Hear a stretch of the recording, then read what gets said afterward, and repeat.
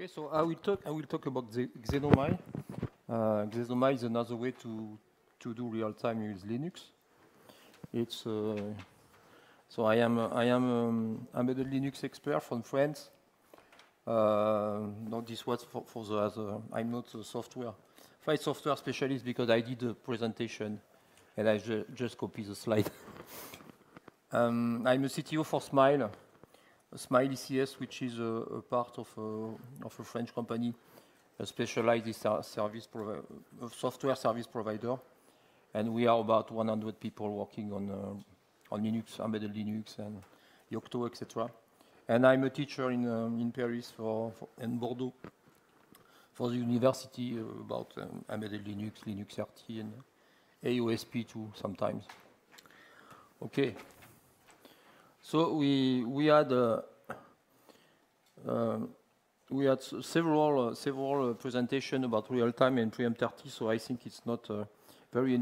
this slide is not very important. Uh, it's just an introduction. Um, in the industry, we used to to to choose some proprietary operating systems such as VxWorks, PSOS, VRTX, very old, very, very old one. LynxOS, etc.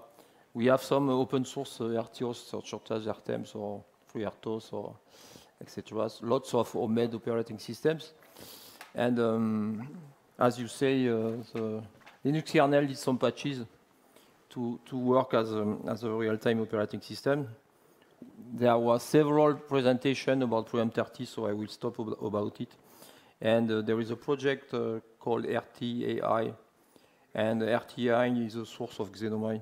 And before RTAI, there was there was RT Linux. So it, it's funny because on all presentation we can you can read RT Linux or Linux RT, but RT Linux was a real pro product um, developed by FSM Labs. It was an open source product, then bought, um, uh, sold by a, by a, a, company called FSM Labs and bought by Wind River and disappeared. Um, that was that was uh, Linux, uh, but it was not open source anymore. Well, uh, this is not very interesting, as we we, we lose some some some minutes. So. Um, uh, if you want to measure the kernel latency, that is what we want to do uh, with Xenomai. You start a real-time periodic task. Um, you increase the system load and you compare the measured deadline with a theoretical one. So, so there, are, there are lots of tools available. Some tools are available from the PREEMPT_RT community. Uh, this is a package called RT-Test in Yocto or uh, RT-Test in general. Buildroot, uh, it's available in Buildroot, in Yocto, in the standard distros. And there is um, the cyclic test, which creates real-time task, and the Hackbench one of the tools is Hackbench, yes, to increase the system load with a non-real-time task. And uh, we can use uh, for uh, real application. Okay, so you know, as uh, as Stephen is, I'm just like a guitarist playing in front of Django Reinhardt, you know.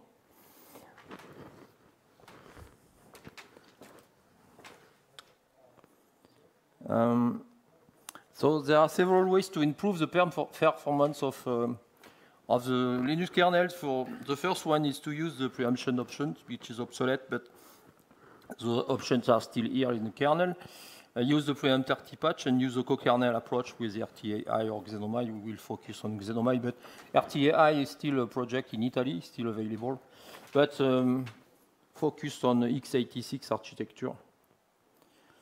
Uh, the preemption options were designed for, for the kernel 2.4. Um, they are still available in, uh, in the sixth version of the kernel. Um, so most of the time they are activated in a, in a standard kernel with a desktop, desktop option. And PREEMPT_RT, uh, we, we know, everybody know PREEMPT_RT, it's a it was uh, adopted by the Linux Foundation uh, in uh, 2015. So we have uh, we we have some uh, option to to set uh, once you have patched the, the kernel, you you have to activate lots of options. There were lots of presentation, much more focus, focusing on preempt with uh, lots of options on the screen. I just talk about uh, config preempt full. And uh, the maximum jitter for a simple board such as Raspberry Pi is, is less than 100 micro microseconds. And if you do the same without uh, preempt it's uh, about five, uh, three or five milliseconds for, for a timer with one millisecond, so it's very bad. So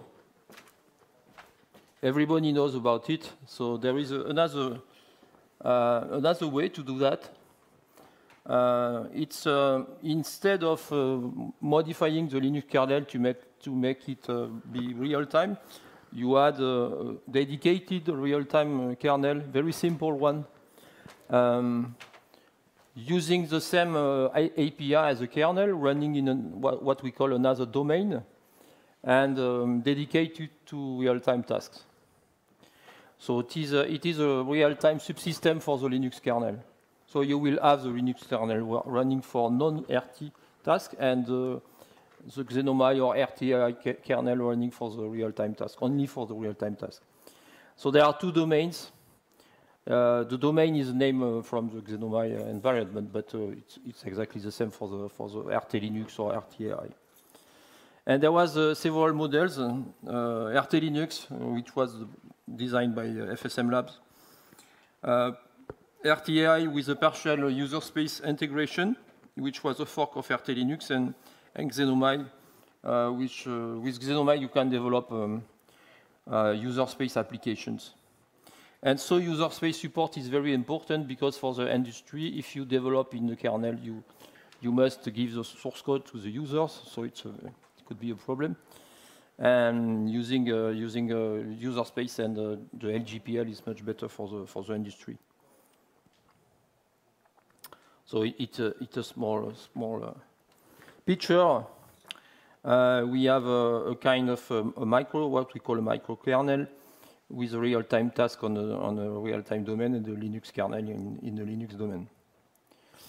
Um, so the, there is a virtualization of, uh, of the IRQ handling. Uh, so the kernel is not possible for the kernel to mask the interrupts.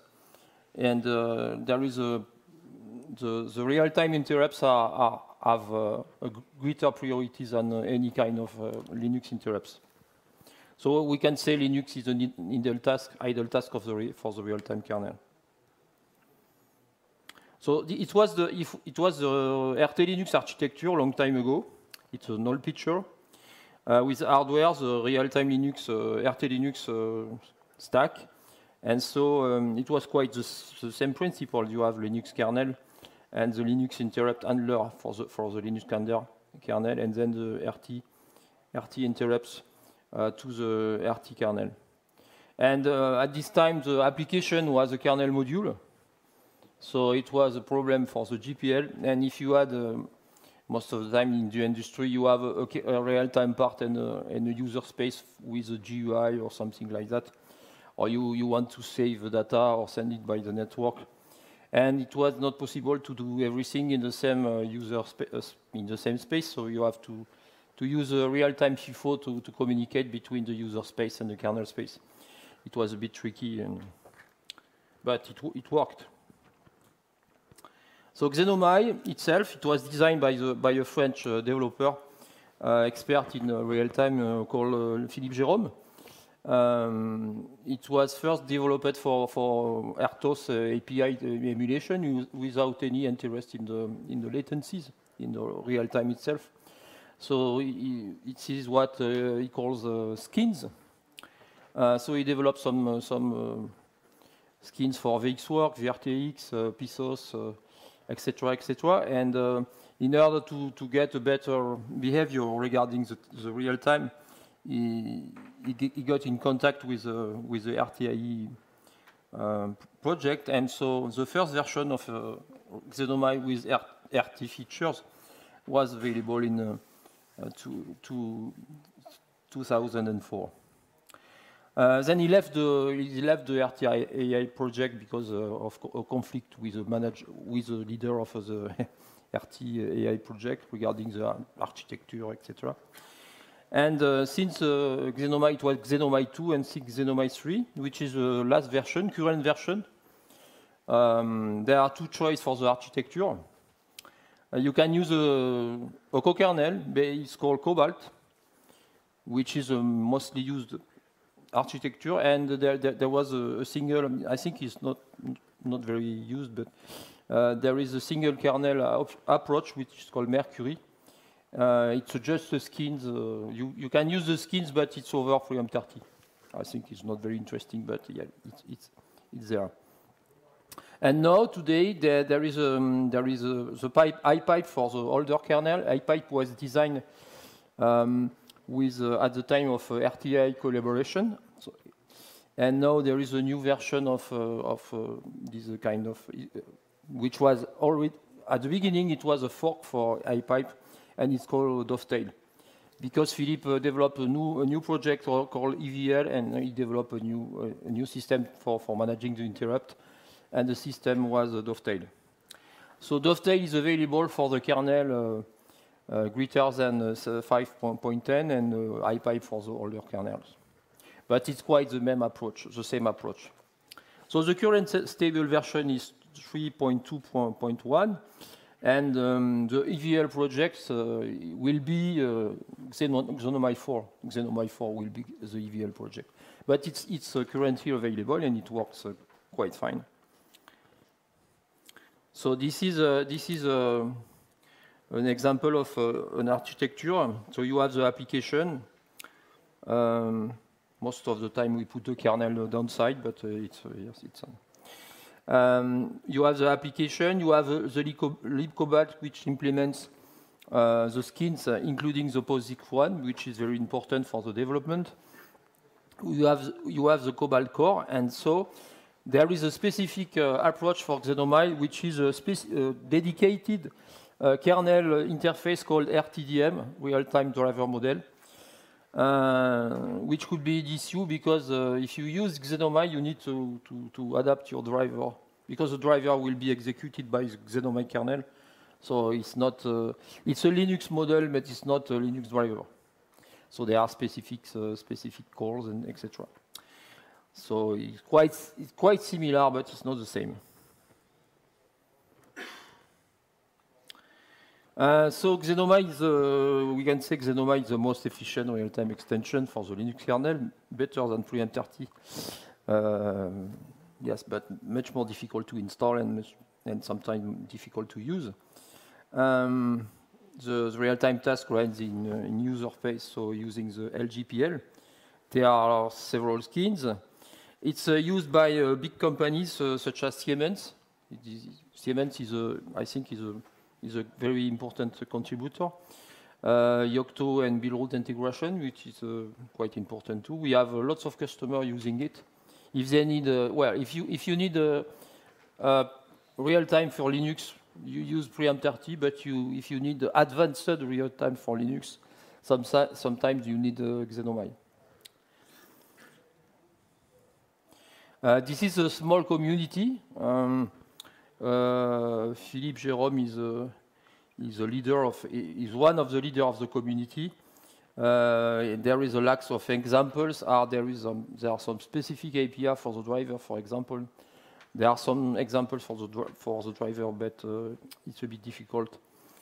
Um, and so um, Cobalt is uh, difficult to set up because uh, it's there is a patch and the mainline kernel is mandatory, so you have to adapt the patch. Um, there is a user and kernel installation. For PREEMPT_RT, you just have to patch the kernel and it's okay. For Xenomai, you have to, to patch the kernel and you have to install libraries on the user space and use the library for the applications, uh, which is uh, for the kernel, it's RTDM. It's not an official project from the Linux Foundation and there is no Xenomai ready uh, distribution. There, there, are some Xenomai ready, uh, eh, PREEMPT_RT ready distribution uh, from uh, Red Hat and from uh, Collabora, uh, Ubuntu. There is a, a, new version of Ubuntu, I think it's a 22, which includes the PREEMPT_RT from scratch, but not for Xenomai. So to install Xenomai, you need um, a compatible kernel. So if you use Dovetail, you have you have um, you can get a, a, compatible kernel on the website. Uh, you need the Xenomai source, and there is a script which is called prepare kernel to, to set up everything. Um, con you configure the, the, the user space uh, uh, the user space libraries, and um, for Yocto or Buildroot, you have to, you need to add the the layer, and for for Buildroot, you need to activate the, the options. It's not that simple, but uh, sometimes it works. and uh, the, the, testing uh, procedure is very close to the Pream31. You start a periodic task in the RT domain, and you, you start a system trace in, in the Linux domain. Um, Xenomai provides uh, its own version of latency, latency but uh, provide latency and its one version of cyclic test. It's not, it's not exactly the same, of course, because it runs in the Xenomai domain. Uh, you can start latency with a default period of one millisecond, and then, for example, you can start a duel provided by Xenomai or Hackbench, which is a, a RT test from RT test package. And the maximum jitter for the Raspberry Pi is about 30 um, microseconds. So I will try to, to show you some uh, a demonstration. Very dangerous uh, things. And this is, I have a list of demonstrations, so it's uh, latency.duel uh, took. I will put in a full screen. So this is Raspberry Pi. I, I, have the console. I, do SSH from the console to, to start the, the load. Okay, this is SSH. This is uh, I start latency. So latency without any any load, it's uh, the latency worst is uh, is about uh, some some microseconds, and now I can start duel with a number of seconds, of course. If you have a real project, you have, you have to run it a long, a long time. So you can see it's about 30 microseconds. Okay.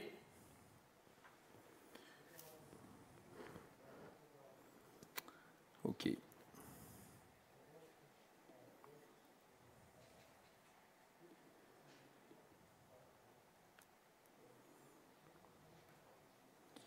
So uh, regarding the domains and the iPipe, um, the guest OS uh, runs in prioritized domains, and so Xenomai runs in the highest priority domain. Uh, Linux, which is called root for, for from Xenomai, has the lowest priority domain, and each uh, for each event, ex interrupts, exception, etc., the, the domain uh, may handle the event, pass it down to the pipeline uh, and so when you modify the when you modify the kernel for that, you you replace the IRQ handlers, IRQ handlers by the iPipe functions. Uh, there is uh, one article about it because the initial technology was called Adeos. Uh, it was designed by uh, an Android expert, but it, it, was not an Android expert at the time, called Karim Yaghmour and uh, it was designed by Karim and, uh, and Philippe Gerum. It was called Adeos now. After it was called iPipe and Adeos iPipe, and now it's iPipe. And, and then it dovetail for, for another, another technology. So this is, uh, this is an interrupt dispatching principle. You, you can get an interrupt, for example. Uh, the first uh, domain, uh, Xenomai domain receives the interrupt. So if the interrupt is for the Xenomai domain, so attached to the Xenomai driver it's okay. It's handled by the Xenomai domain. Uh, if it is not, uh, there is a virtual IRQ sent to the root domain. Um, and if uh, there is a problem with the handling of the IRQ by the root domain, uh, the, the, the, the, the IRQ are, put in a, in a, buffer called ilog, and then uh, handled after the when the domain is uh, is okay. the, the root domain can be stored and when the root domain is installed, you can uh, handle the, the, uh, the IRQ. So Dovetail, as I said, it was a fork of iPipe. Um, there was uh, some uh, modification about uh, um, having all device interrupts uh, behave like NMIs. And so It's, uh, but the most important part was, uh, was a way to maintain Dovetail with a common uh, kernel development, not uh, having a patch uh, which is difficult to apply to a BSP kernel or to have modify. And so the porting of, of Dovetail is simpler than the porting of iPipe. And it's much closer than to, the, to the recent kernel releases. It's available for Xenomai 3.2 with but uh, there is uh, no backport for the previous version of Xenomai 3.1 or 3.0. And uh, so instead of uh, patching, uh, you, you install a Dovetail ready kernel based on the mainline, or from mainline of a BSP. I heard, I, read an article two, two, two, weeks ago about a company in Spain which provide uh, a mainline kernel for uh, NXP board, IMX8, etc., and including the, the support. So some words about an application. Uh, an appli a Xenomai application is a, is a Linux program, but using uh, Xenomai libraries. And the application runs in two domains, Linux for non-real-time threads and Xenomai for the real-time thread. And uh, most of the time, the main function is managed by the by Linux domain. And so the, there are some RT threads, and the threads can communicate with a, with a protocol, specific protocols designed by Xenomai, which is called XDDP. So you have uh, you have the main, uh, you have the Linux thread here uh, using a driver, a Linux kernel driver, and uh, you have the, another thread based on RT on Xenomai using a specific uh, driver. And so the device nodes for the, the driver are, are in slash dev slash uh, RTDM uh, and uh, the Xenomai kernel with the RTDM driver. And so we can communicate with, of course, we can't use the, the, standard POSIX communication stuff because you need to, to keep the, the real time okay, so you have to use XDDP. And XDDP is a, is a socket protocol on the, on the Xenomai side, UDP socket protocol, and on the Linux side, it's a, it's a file descriptor with a char, driver. So there are some several Xenomai skins, uh, POSIX, PSOS, VXWorks, Smokey for the test, RTDM for the kernel space. We can, uh, you can use uh, several skins at the same time. Um, so POSIX is very important because uh, you can you can develop a Xenomai application in POSIX without. It's quite uh, very close to uh, to a standard Linux application. Uh, so you have to you need to um, to separate the RT and the NRT uh, parts. You select a skin, for example, the the POSIX. Um, uh, I use sometimes uh, I use the VXWorks uh, skin because uh, there are some companies with uh, lots of VX, VXWorks code, and before using Linux, they want to test their their code without uh, updating everything to POSIX. so that's quite useful. You can force the call to to the Linux version of the of the of the system calls with the prefix real real and underscore underscore real prefix. For example, pthread create. Um, you log the, the, memory with uh, the mlockall system call. I think it's uh, it's uh, automatic now. And you can, uh, there is a xenoconfig script uh, provided by Xenomai the compilation time, which uh, generates the, the, options to compile. And you have xenoconfig minus minus cc to get the cc path, the c flags, the ld flags regarding the, the skin you use, for example, for POSIX or native. And there is a support for, um, for uh, the CMake, uh, for CMake. Uh, if you use a Xenomai kernel, you have, uh, you have a new um, directory in proc, which is proc Xenomai. Uh, you can get all the information about, uh, about the, the, task, only, only the, the Xenomai task. a major problem is migration, because if for, from, from uh, Xenomai part of the code, you, you, you call a, a, system call from the, from the Linux part. Uh, Linux system call, you will, you will be, uh, you will create a migration, which is a, a, a problem for real time. So, so you can trust the migration with, uh, with the SIG debug signal. And there is a support for ftrace, and the events are Cobalt, uh, name Cobalt, uh, etc. So you can use trace CMD to record the Cobalt events and report uh, just like you do with, uh, with Linux. Uh, the RTDM API is uh, it's a RTDM driver for it's, it's a Linux module, but uh, it runs in the Xenomai domain, so you can load it with uh, with INSMOD or modprobe or any kind of what you want. Uh, but you need to adapt the driver. As I said before, you need to adapt the driver to the to the API.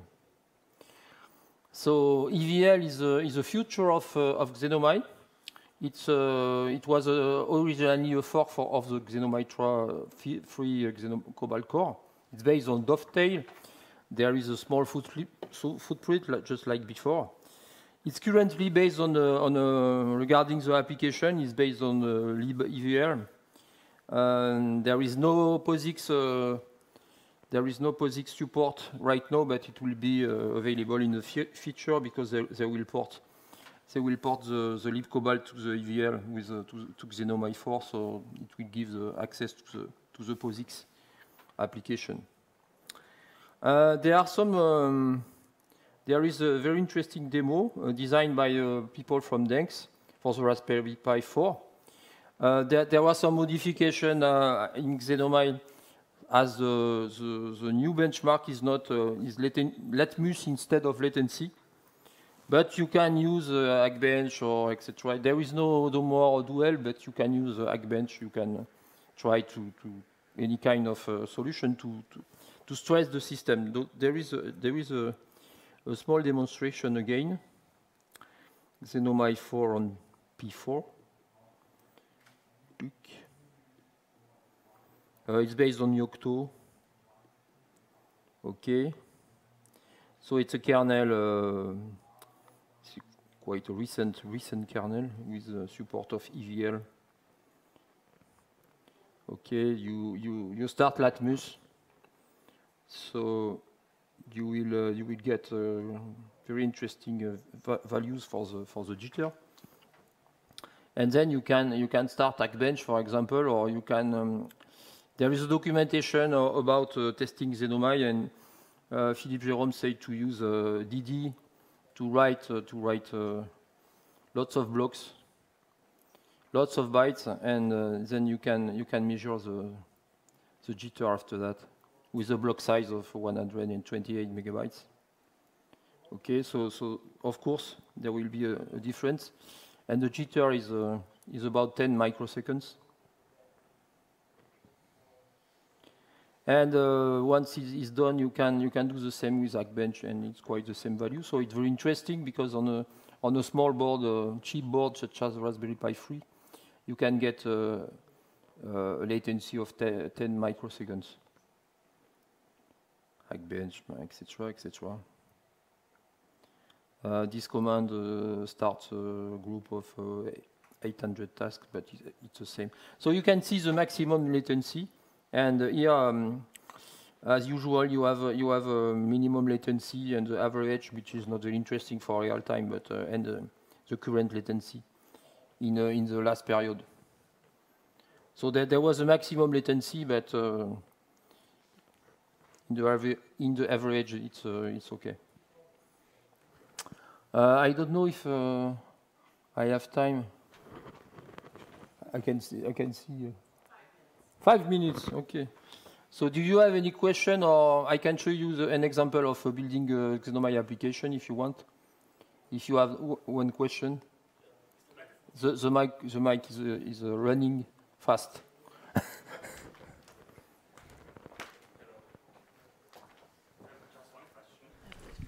uh, test, test, test, yeah. Yeah. One question, I just saw that the best latency is negative. Yes. I think you forgot to calibrate.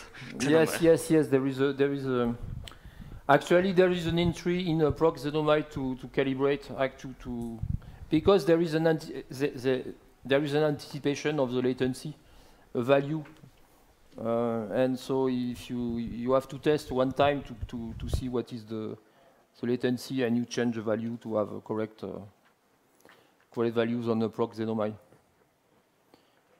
That's normal. That's not normal to, to have a negative uh, value. Uh, if, is there any other question? Or I can, I can show you uh, an example of building an application.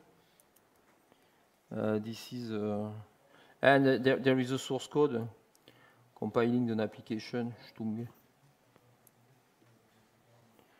So this is an example. It's called Xenomai pthread, and this is an example of a, a very simple Xenomai application based on POSIX. So the, this is the main part uh, with uh, uh, an option minus p to dash p to set the period. So it's a classical POSIX application. we, we use a thread, thread square as a, as a function to associated to the thread. Uh, you know, it's uh, typically POSIX. You you get the you get the, the, the clock time, and you use a clock uh, clock nanosleep to to sleep between between the periods. So I, I use uh, um, Poky to compile the, it's a Yocto. And I will get the, the access to the, to the Xenoconfig uh, utility.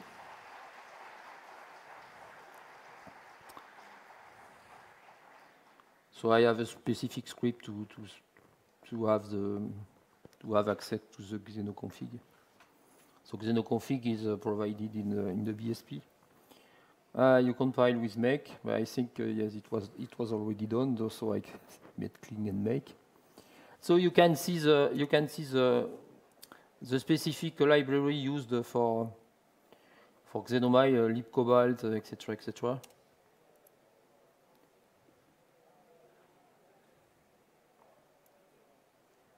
Hello. Okay.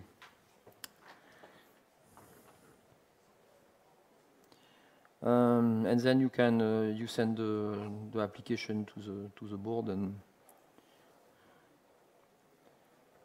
uh, uh.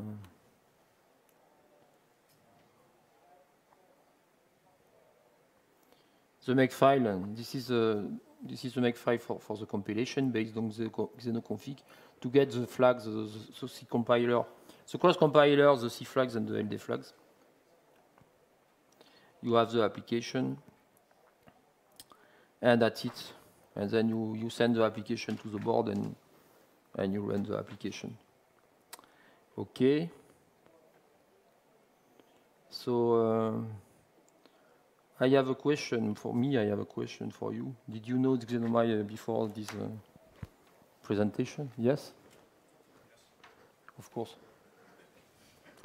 So this is not a, a replacement of PREEMPT_RT. It's another way to, to use uh, real time. It's much simpler to use PREEMPT_RT now, and as the results of PREEMPT_RT are, are quite good now, it's, uh, it's much better. But for some customers, uh, the, the, results with Xenomai are better, and so they want to use Xenomai instead of RT.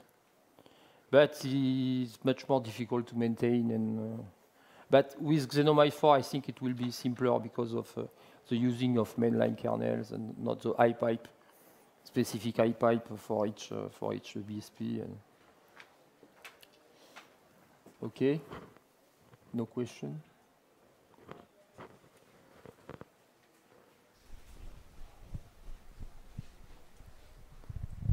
Thank you. I'm Pavel from DENX. I would like to ask, in case of PREEMPT_RT, uh, application is quite limited in syscalls it can, it can do to stay real time. So what uh, interfaces are available for real-time application in, in Xenomai? I, I, don't understand your question. Uh, what interfaces are available for real-time application in Xenomai? Can it, for example, access network, disk? Yes, of course. Uh, there is a there is a network API real-time network API from uh, for Xenomai. Of course, it's based on UDP because TCP in real time it's a bit uh, difficult, uh, which is called RTNet. And you can you can have uh, you can use the standard. Uh, of course, you can use the standard network interface, but you can develop.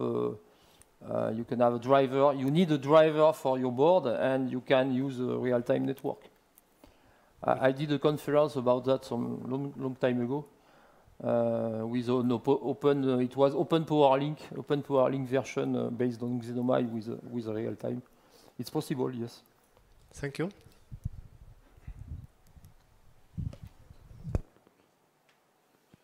Okay. Okay. Thank you.